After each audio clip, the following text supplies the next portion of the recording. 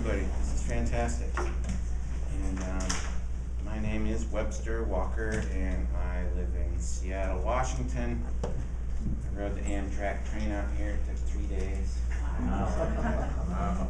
It's a good way for me to just like let everything settle down.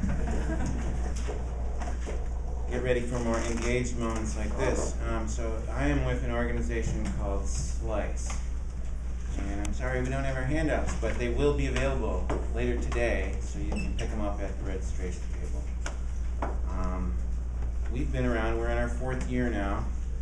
Uh, although the thing is, is that actually, I'm kind of used to saying this now, Slice doesn't really exist.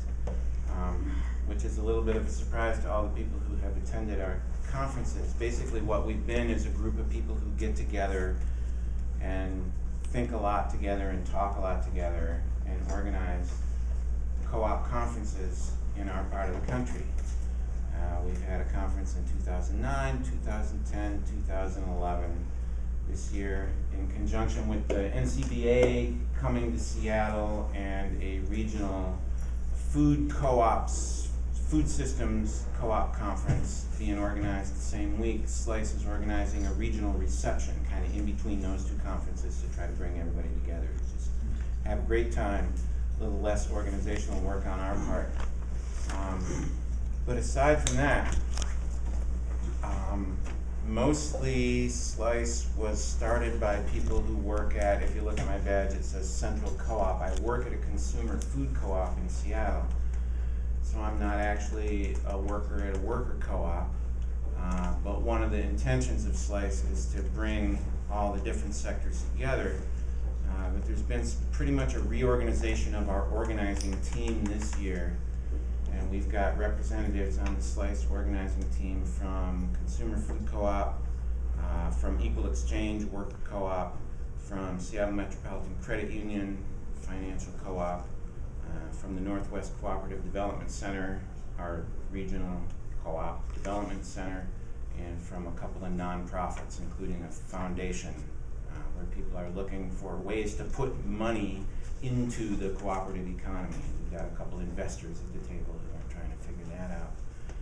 Um, so that's all pretty exciting. Um, and we're looking at probably at our meeting next month, once we hammer out all the logistics for the reception this month, uh, actually convening a steering committee to look at how we're gonna formalize our existence, whether through incorporation or forming an association or a nonprofit or a co-op or whatever it is that we're gonna do. But we have done some other work besides just uh, organize these conferences. At the second conference, we convened a group of twenty-five people at what we call the Slice Roundtable. People who are interested in starting a new regional cooperative development fund, because one of the issues that keeps coming up is access to capital. Um, you know, without having to go to the bank, without having to rely on grants. Um, and one of the keys that we're looking at is we want the money to come from the co-op sector. So we're looking at how to set up a fund that would be fed by co-ops in our region who commit as co-ops under Principle Six, cooperation among cooperatives, to put a slice of their money into this regional development fund that then would be used to develop new co-ops. Of course, that's a lot of work to start a new financial institution and, uh, uh, one of the keys for me personally is that I've got this fat job at my local food co-op and it keeps eating my life. So one of the things I'm gonna be doing on the train on the way home is trying to work up my courage to just step out of that safety nest into this regional co-op development work that I find way more interesting and exciting, but at this point isn't gonna pay me a cent, but, um, anyway, I think Adam is completely right that we want this work to be by co-ops and for co-ops. Um, so, one of the things that we did, um, I mean, we brought in a bunch of people from existing funds that have already been up and in operation to talk to us about what it takes and what they've done. Um, people from the Twin Pines and from, um, uh, Margaret Lund was there, who worked with, uh, North Country Fund for a long time, David Smathers more. Uh, so we did a regional cooperative survey. We identified all the co-ops in our region, drafted this survey, sent it out to everybody.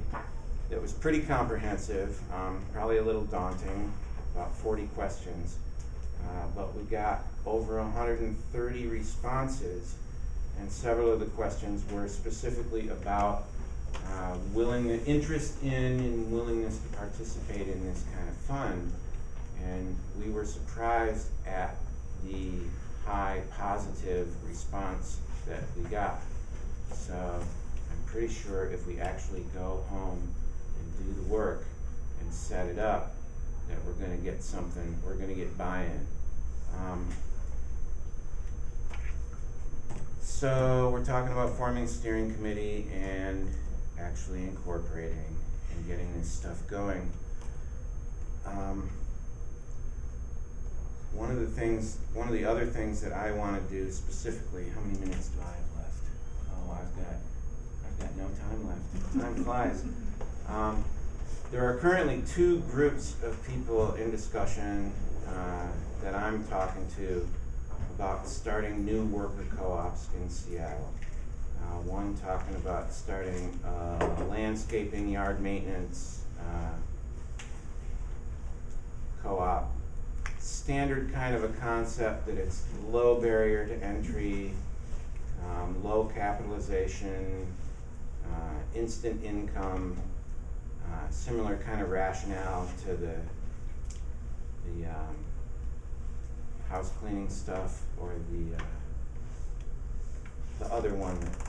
Anyway, that sort of rationale. And then there's some people talking about setting up a, a workshop to do uh, machining, welding, that sort of thing. Um, crazy bicycle projects. One interesting thing is that there aren't a lot of worker co-ops in our region. Uh, there was a bakery there for many years. Tragically, they went out of business about four years ago. Um, without really reaching out to the community ahead of time after having been in business for about 30 years, so I'm not really sure if they could have been saved. Uh, but we need some more worker co-ops. Uh, you know, we've got we've got Equal Exchanges retail outlet in one of the neighborhoods in Seattle. They've got a cafe there. So Allison Booth is one of the people on the Slice organizing team right now. Uh, but we need to get some more focus on developing worker co-ops in our region. And I'm gonna stop there. Sorry I'm not more comprehensive and organized, but uh, this is how it is. Thanks.